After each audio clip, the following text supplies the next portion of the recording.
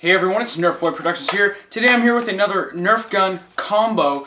This is it. Uh, I don't know what episode this is, but this is my latest and greatest combo, which I absolutely love, and let's just dive right into it. Alright, so I love this combo because it's so easy to do if you have what you need, but um, it's minimal and it works, it's very effective. It works great. So it's actually composed of three different things. So the base blast we're going to be using is the Nerf Zombie Strike Crossfire Bow. Alright, so this has a, uh, the features we'll be using of it is the stock attachment and it's got the one tactical rail on top which we'll be taking advantage of as well. Um, Alright, so as far as what we're going to be putting on that tactical rail, rather than doing a scope, I actually decided to take this uh, barrel brake dart holder, and I, I do have the Sonic barrel brake, which is green, which is really nice because it actually matches. See that? Pretty awesome. And then uh, as far as the stocks go, I did choose a Raider stock. Uh, I do love the Raider stocks because they've got this button on the bottom, so you can. It's actually got different sizes. You have this size, that size, that size, that size. It's a four-position stock. Okay, so what I do is I just put that on there, and then what this Raider stock allows you to do is you can keep it nice and short, which allows you to, um, you know, just kind of like hip fire at enemies, which is really uh, comfortable to do with the uh, with the uh, with the crossfire bow. So you can just like, right? Or you can then pull it out, which will actually allow you to get a nice comfier grip, um, which you can then you know, kind of aim in closer and uh, hit your target more effectively.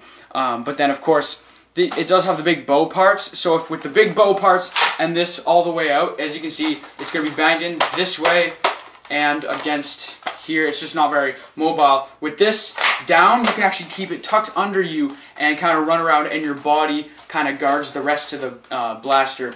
So um, that's very cool. And then as well, I chose I chose not to use a sight because or a scope because this gun because this blaster is very accurate on its own.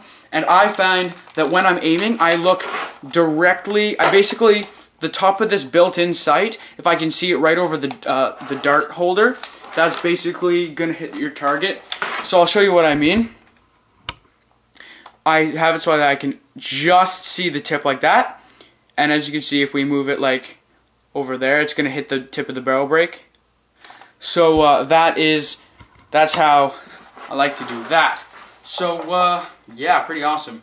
Alright, so unfortunately that is it for this video because these videos are so easy to do that uh, I'm going to do a lot more of them. I don't know why I haven't yet. They're so easy to do and I love making them. I'm going to do lots of combos videos. I have all these guns and I do unboxings and reviews with them, but after those videos are done I can't really do any videos on the guns again. Well now I can because I can use these blasters for combos. So um, this is one that I absolutely love. I had a Nerf war on like two days ago on the weekend, and I use this, and it's very effective. And uh, like I, I don't know if I mentioned, but the front of this blaster holds the four darts, and it's like front-loading style, which is why I chose this, because you can hold all your darts. And this holds eight darts, so you've got four in there, four in there, four in there, for a total of 12. So uh, 12 darts is much better. Originally, I was going to use a stockade. Uh, so another option you can do is, rather than using a Raider stock, what you can do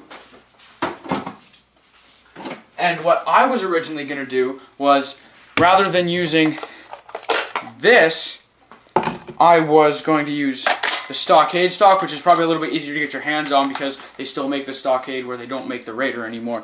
And uh, I was going to use a scope. I was going to use the Vortex, the Vortex Nitron scope. I don't. I'm not a fan of the scope, but it seemed to work and was accurate enough for this uh, blaster, and that was another one. But then I found, and I used those these two different uh, variations of this blaster in combat, and I found that the other one was a little bit nicer just because of that stock. I didn't have a big, bulky, uh, weird, hard to use scope hanging off of it, and I didn't have this big stock. I had a small stock, and when I wanted that extra oomph, I could get it. So uh, I did enjoy that. And then I made up for the loss of the dart storage with this holder here. So this is like the perfect combination for the Crossfire bow. I hope you guys enjoy this video. As always, this is Nerf Boy Productions, signing off.